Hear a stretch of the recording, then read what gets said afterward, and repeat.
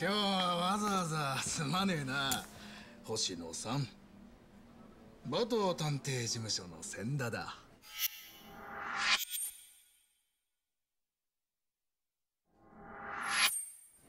あの何なんですか？あの電話は。意味がわからないんですけど。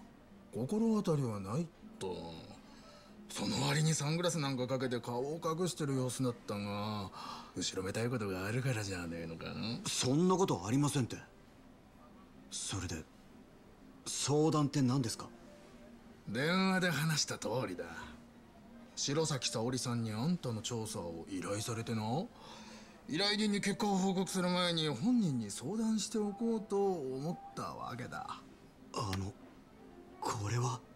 あんたの彼女がうちの事務所に相談に来た時の写真だよ。そんななんで沙織さんが？あんたらそろそろ婚約って感じなんだってな。それで不安になっちまったんだろうさ。彼氏がもしかしたらってな。まあよくあることだ。それであなたは何がしたいんです？僕には後ろめたいことなんてありませんけどそもそも探偵が依頼内容を他人に話すのは守秘義務違反でしょさすが弁護士さんだ。はったりがどうに言ってる。だがこいつを見ても平然としていられるかな。はこれカムロ町のラブホだよな。いや。婚約前の最後の火遊びといったところがね。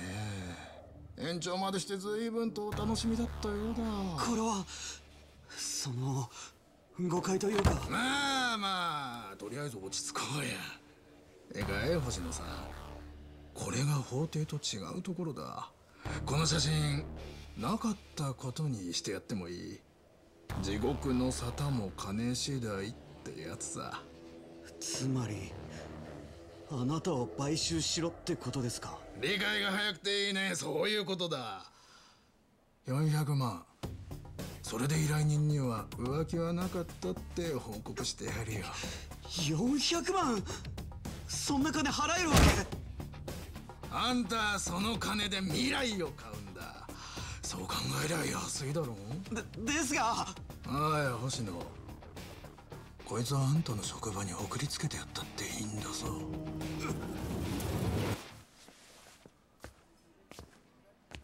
依頼料もらった上にターゲット脅迫して400万ね。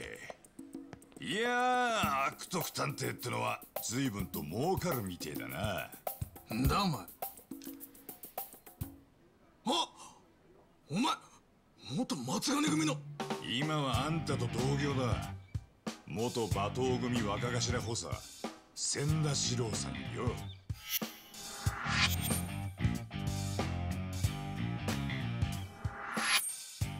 海藤さん僕の演技なかなかのものだったでしょう。演技？あんたに騙された依頼人に頼まれてよ。脅し取られた金を取り戻してほしいってな。そこで星野君と沙織さんに一芝居打ってもらったってわけだ。おかげで証拠はバッチリつかめたぜ。なあ星野君ええ。証拠は全てここにさて依頼人から脅し取って100万プラス迷惑料30万。それで手を打とうや。にゃ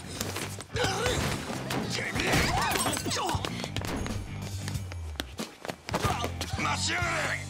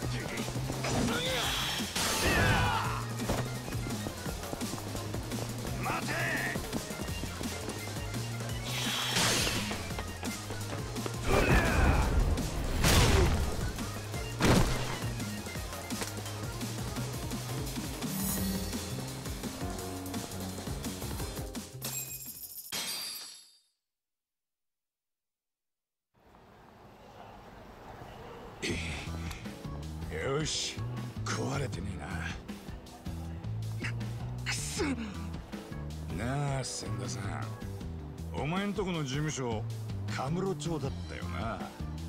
一緒に向かおうか。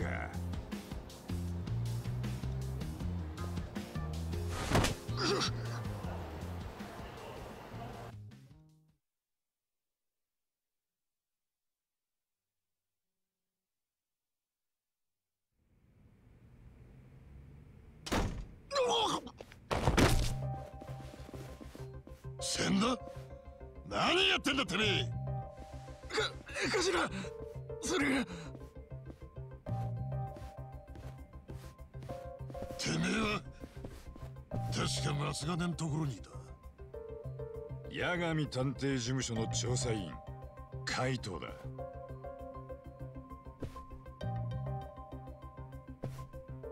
お前ら工夫がねえな。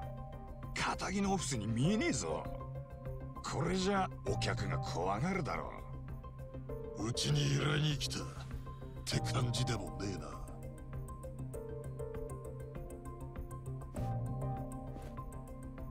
お前が代表か？馬頭探偵事務所。主任カウンセラー。五十嵐だ。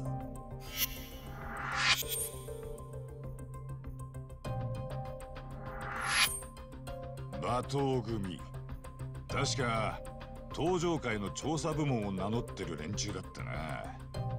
薩の家族構成や弱みをつかんで脅しや牽制に使う。仇になっても相変わらずのようだがおかげでカムロ町の探偵の評判はガタ落ち。うちもいい迷惑してんだ。当社のお客様満足度は80%以上だ。客が来ねえのはてめえらの営業努力不足だろ。とにかくだ。お前らが依頼人から騙し取った100万。返してもらうぞ。ついでに迷惑料30万もだ。こいつと交換だ。警察に突き出されたら営業停止じゃ済まねえぞ。下手打ったな千田。すすいませんだがこいつを連れてきたことだけはお手軽だ。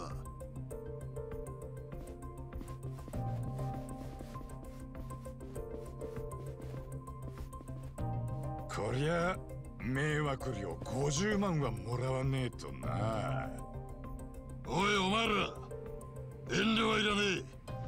このバカをぶっ殺せ。やらせてもらうぜ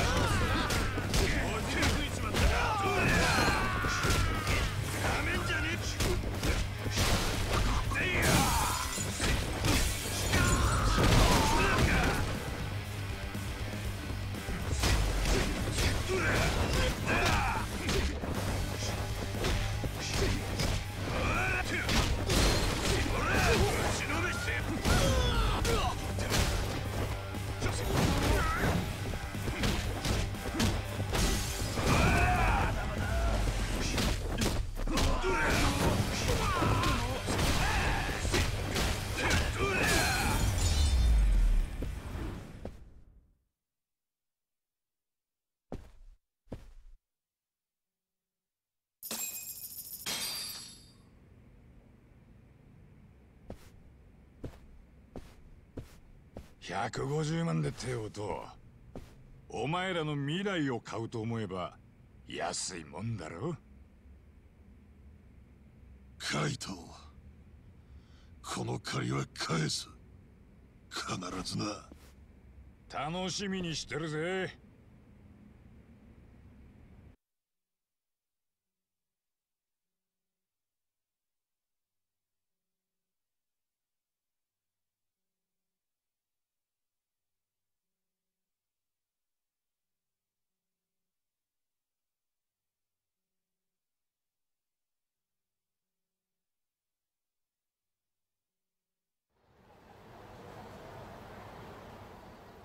うもありがとうございます。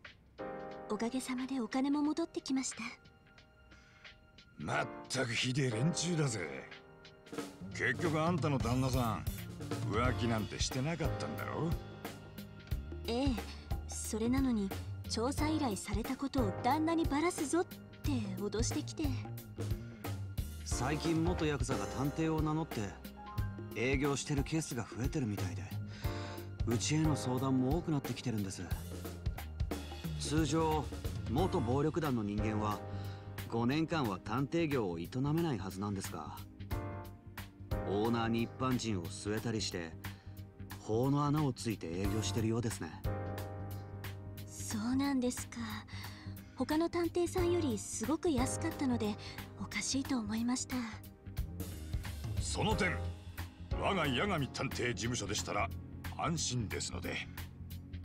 完全成功報酬。追加料金も一切なし。また旦那さんのことが疑わしくなったらぜひうちに相談してください。しばらくは大丈夫です。夫のこと信じることにしたんで。では。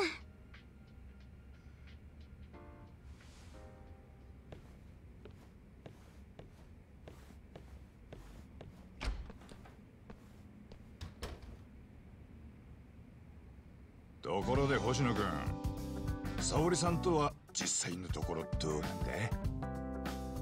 ああ僕としては尽くしているつもりなんですけどね。時々僕たち本当に付き合ってるのかなって心配になることも。もう付き合って3年ぐらいだよな。結婚とか考えてねえのかもちろん僕は真剣に考えてますよあでも沙織さんはどうなのかな？うーん。おいおい。そんなんだと沙織さんを逃がしちまうぞ。男ならガツンといかねえと。そうですよね。よーし。今年こそは。おう応援してるぜ。それじゃあ僕は事務所で仕事が残ってるので失礼しますね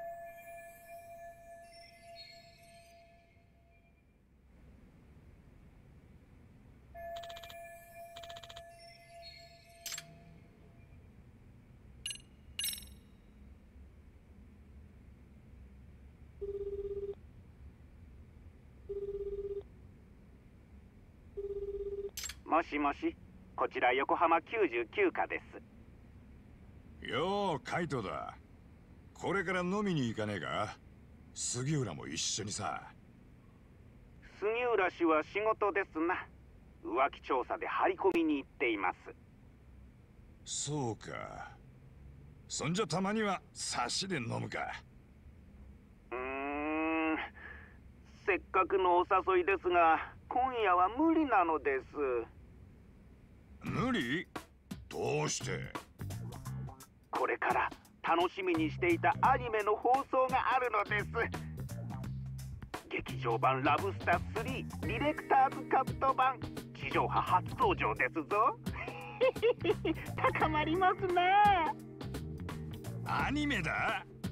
んなもん録画しときゃいいだろうが海藤さん分かってませんねリアルタイムで見ることに意義があるのです。ネットの仲間と共に実況しながら楽しむ時間はプライスレスなのですぞ。あ実況だ？おそうだ。よかったら海藤さんも一緒に実況しませんか？オンラインでボイチャしながらでしたらカムロ町のご自宅にいても共に飲めますし。僕の友人にも紹介いたしますのであいや実況？あ話についていけそうにねえし。誘っておいて悪いがやめとくわ。そうですか。海藤さんにラブスターの良さを知ってもらういい機会だと思ったのですが。おそろそろ始まりますので失礼します。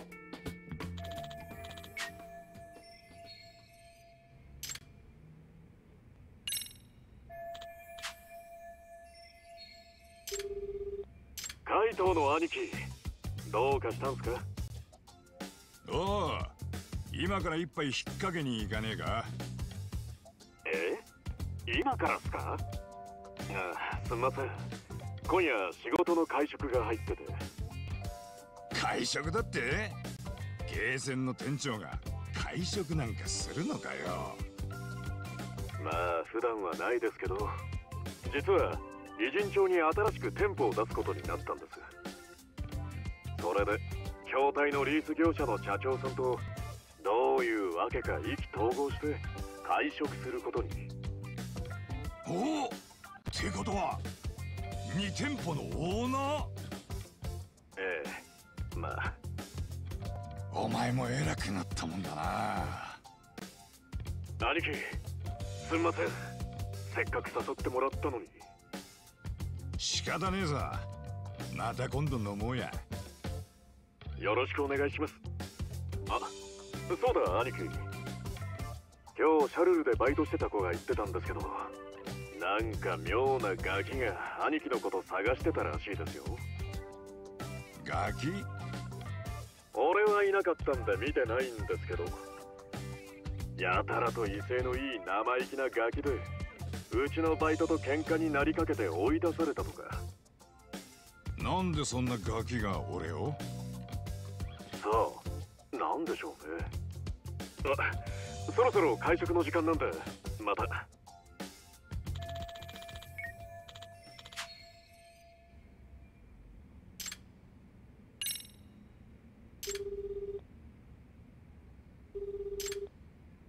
海藤さん？どうしたんですか？星野君これから飲みに行かねえか？え？いやさっきも言いましたけどまだ仕事が残ってて。なんだまだ片付いてねえのか？はい。それに沙織さんにも手伝いを頼まれちゃって。そうなのか。まあそれじゃ仕方ねえな。沙織さんのお願いじゃ断れねえもんな。ええすみません。また誘ってください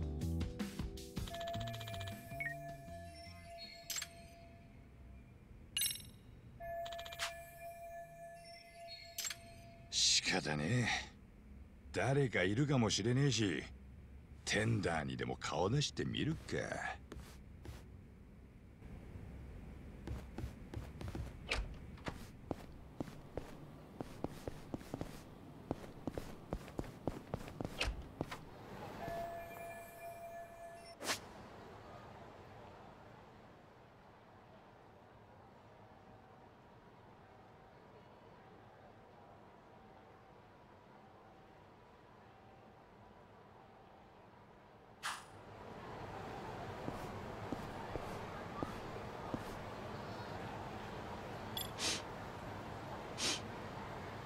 お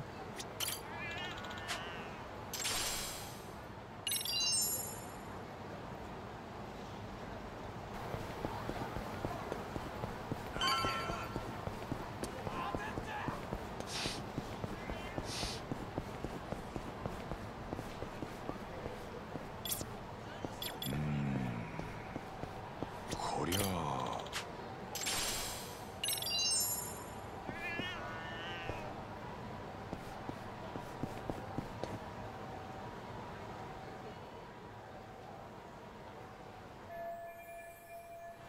されたの？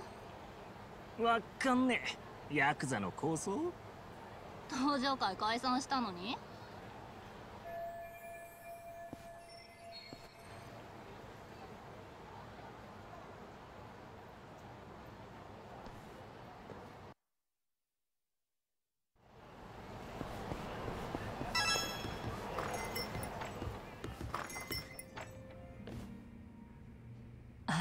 海藤さん今日は一人？ターボーは源田先生の手伝いで出張中だ。23日戻らねえとよ。ふんそれで寂しくなって。一人で来ちゃった感じ？バカ言え。マスターいつもの。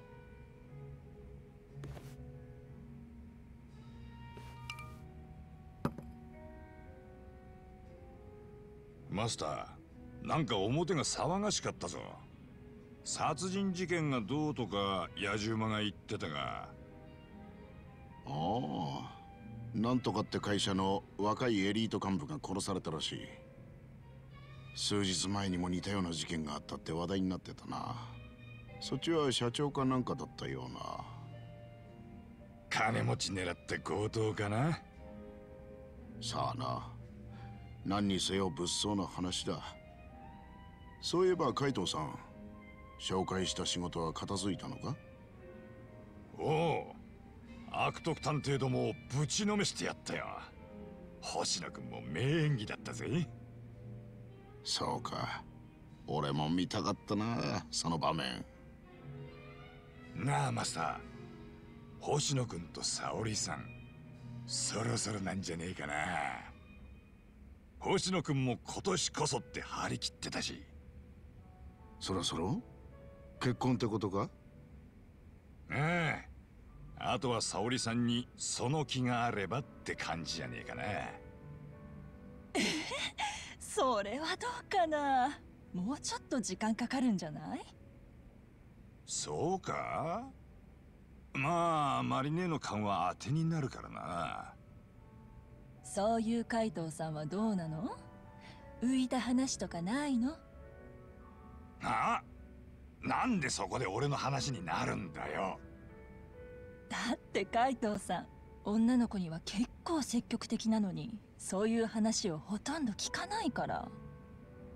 この人は振られてばっかりだからな。うるせえよ。俺はなその日その日を楽しく生きられりゃそれでいいの。女口説いて振られんのもまた一興振られた分だけ次のいい女との出会いが俺を待ってるわけだからな。海藤さんおじいちゃんになってもそういうこと言ってそうだね。いやだがなマリネ。海藤さんはこんなこと言ってるがな恋に落ちると結構盲目なところがあるんだ。昔結婚を考えてるとか言ってたこともあってよ。え？そうなの？意外？おいマスターその話は。ほらなんて言ったっけあの子。もう10年以上前のことだが同棲までしてさ。えー、っと確か。マスターその話は長くなるからまた今度。な。ん？ああそうかいんなことよりなんか仕事はねえのかよ。悪徳探偵どものせいで仕事が減って暇でよ。紹介してくれよ。おそうだ忘れてた。あんたに紹介してくれって頼まれてた依頼があったんだ。人探しだったよ。俺に？詳細は？いや詳しいことはわからねえ。会って直接話したいそうだ IT 企業の社長さんだ。ほう IT 企業の社長ね。で報酬は？相手は前金だけで200万提示してる。200万？おいおい随分と気前がいいな。調査の必要経費に使ってほしいってことだ。しかも前金の他に成功報酬で2000万出すらしいぞ2000万。結果次第じゃもっと出してもいいと言ってるらしい。よっぽど金が有り余ってるんだろうな。マジかよ。なんかすごい話みたいだけど海藤さん一人で大丈夫？肝心の所長さんが出張中だし。うんちょっと心配だな。客が怖がって逃げ出さなきゃいいが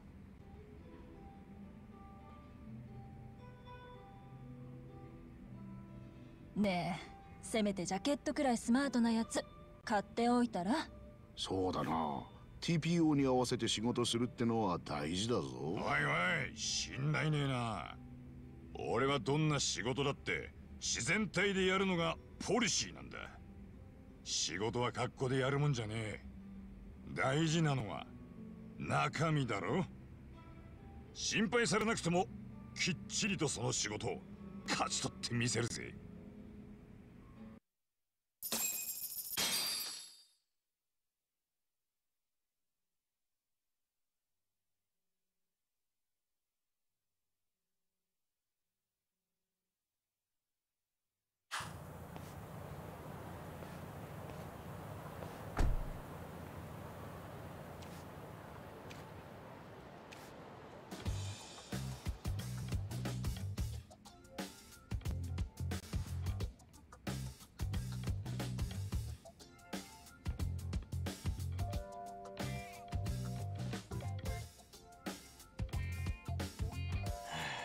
賞味期限切れてんじゃねえか。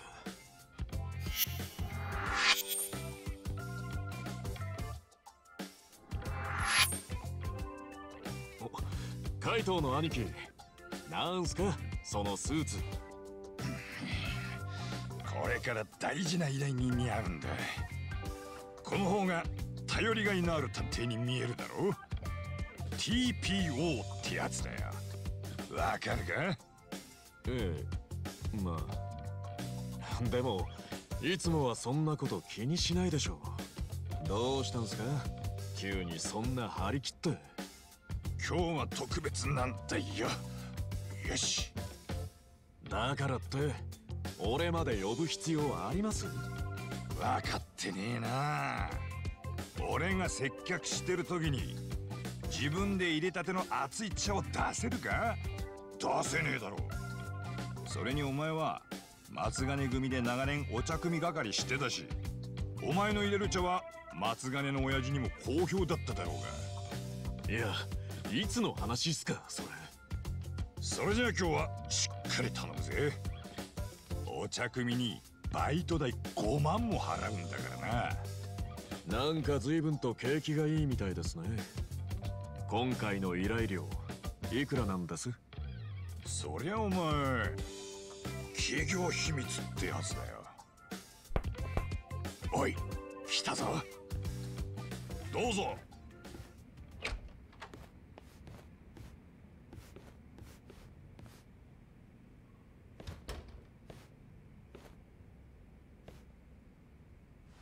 はじめまして。今回依頼しましたイマージュインタラクティブ CEO の貞本京也です。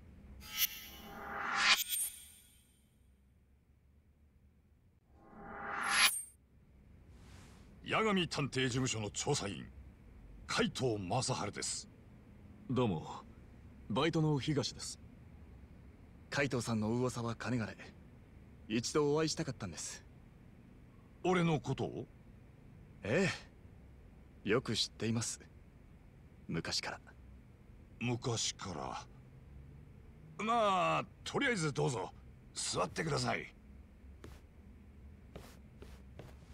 どうぞありがとうございます。では早速本題に入りたいと思います。人を探してほしいということですが探すのはどなたでしょう？実は妻を探してほしいのです。亡くなった妻を。亡くなった奥さんを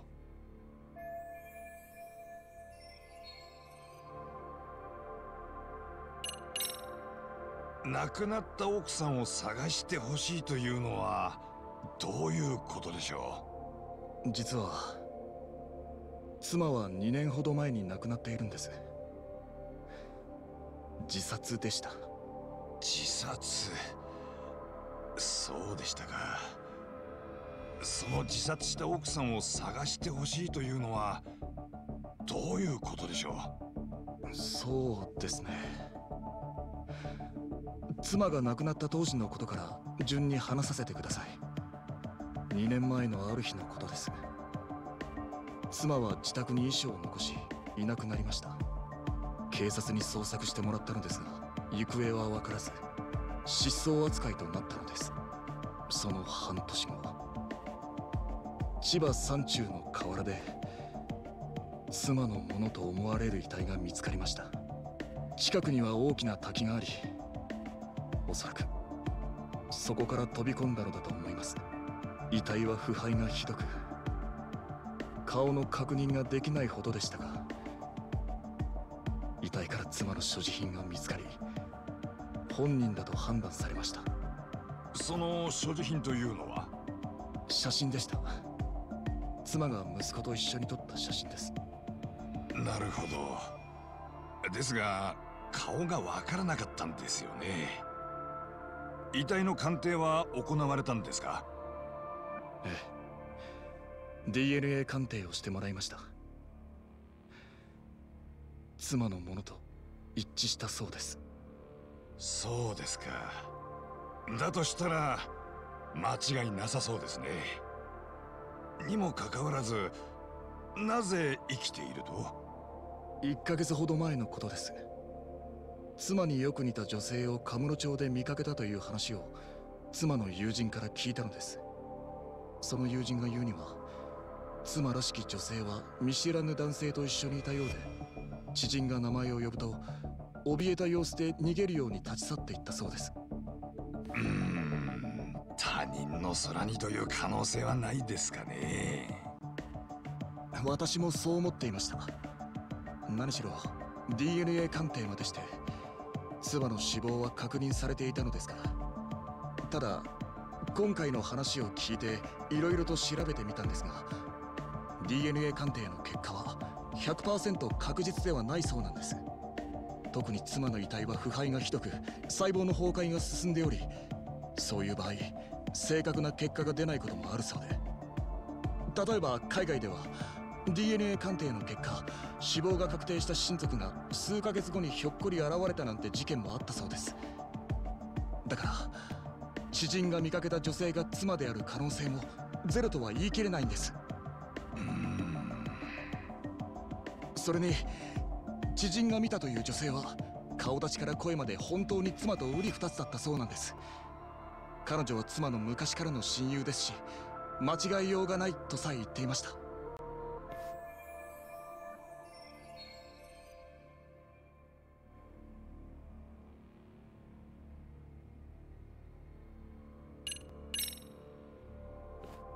ところで報酬について確認したいのですがテンダーのマスターからは前金で200万。プラス成功報酬で2000万と聞いています。はい。結果に関わらず最大限それだけは用意したいと考えています。えっと最低限それだけということは？ええもし妻を無事に見つけることができたならプラス1000万お支払いしたいと考えています。合計3200万ってことですか？兄貴俺の今日のバイト代5万でしたっけ？お匠に5万は高えだろ。別にいいんですけどね道理で景気がいいと思いましたよ。ところで奥さんの写真がありましたらご提供いただけますかね？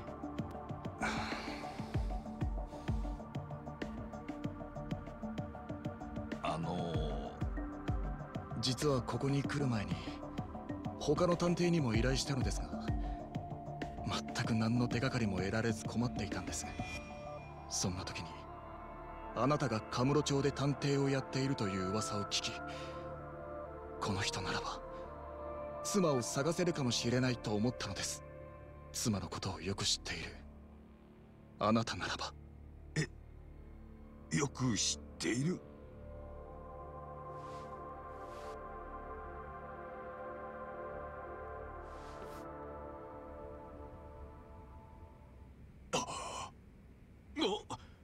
兄貴この人って。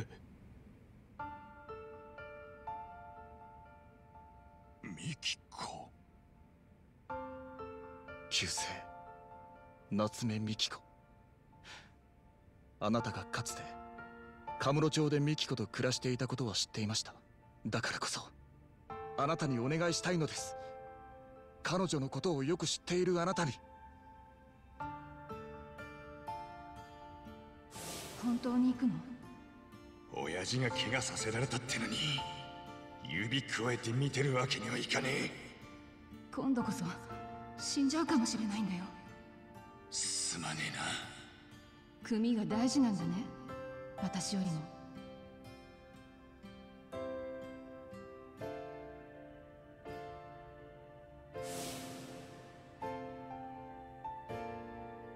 亡くなった妻を探してほしい雲をつかむような話です。ですがミキコのことをよく知っているあなたならこの町で妻と暮らしていたあなたならばミキコを探し出せるかもしれない。だからカイトさんお願いします。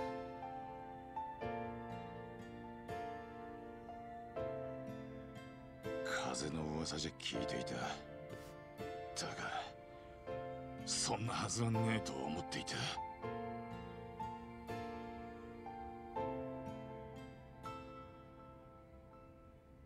なあ貞本さん。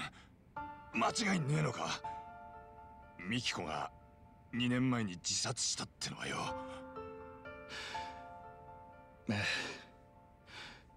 遺書が残されていましたから。なぜだ。ミキコは自殺するような女じゃなかったはずだ少なくとも俺の知っているミキコは。わかりません。遺書には詳しいことは書かれていなかったので。わからねえ？あんた旦那だろ？一つ心当たりがあるとしたら当時ミキコは仕事のことで悩んでいたようです私も当時は仕事が忙しくてほとんど家にも帰れず相談に乗ってやることができなかったのですがだからずっと後悔しているんです。妻のことないがしろにしてしまったことそれであんたもしもミキコが生きていたとして連れ戻してどうするつもりなんだ？それはわかりません。妻が私のところに戻りたがるかどうかもわかりませんし妻の意思は尊重するつもりです。ただ私たちには息子がいます。14歳の息子が純と言います。そうか。ミキコに息子が。ミキコに似たのか。やんちゃな子でしてね。純は母親が生きているかもしれないという話を聞くと自分も探すと言って私の静止も聞かずに家を飛び出していってしまいました。家出を？ええ。もう2週間ほど前のことですスマホの位置情報はこっそり共有させていたんですがそれに気づいたのか家に置いていってしまって。まったくどこにいるのやら。2週間も連絡つかないって大丈夫なのか？14っていやまだ中学生だろ？純が家出して帰ってこないのはいつものことですよ。だいたいいつも不良の友達の家を泊まり歩いている。もっとも私も終電を逃してホテルに泊まることが多いので家出に気づかないなんてこともあるのですが。そうかよ。カイトさん引き受けてくれますか？あなただけが頼りなんです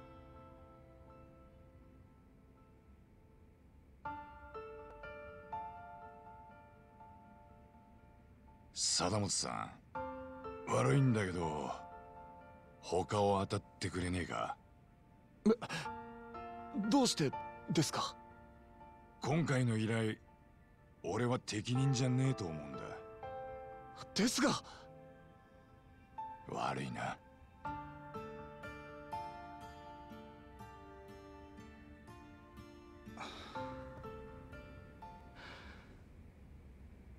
わかりました残念ですが失礼します。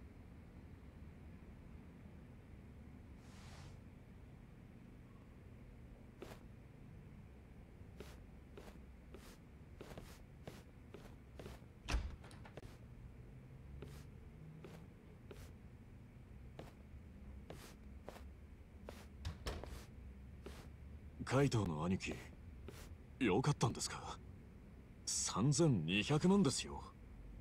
それにそれにもしミキコさんが生きてるなら。いいんだよ。そうですか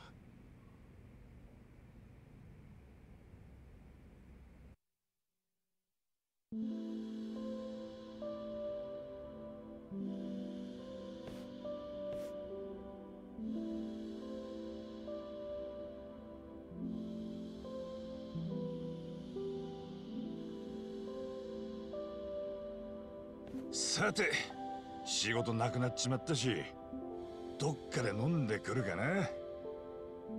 ああ俺でよかったらお付き合いしましょうか。おいいのか？だがお前も新しい店の準備とか忙しいんだろ？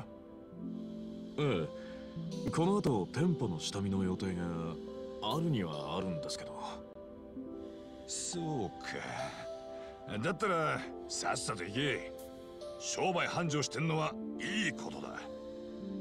すみません兄貴。ところで東そのお茶組バイト代の5万のことだが。いいんですよんなもん。俺の兄貴じゃないっすか。昔みたいにただやるって言ってくれりゃ俺としてはそれでよかったんです東お前ってやつは。あれ？兄貴あの写真。だよ。忘れてったのか